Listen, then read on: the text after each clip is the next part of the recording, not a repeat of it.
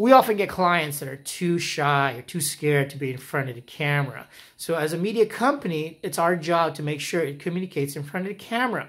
So little by little, we explain to them that people do business with people, not with business. So the more you put face into your business, the more people can relate to it.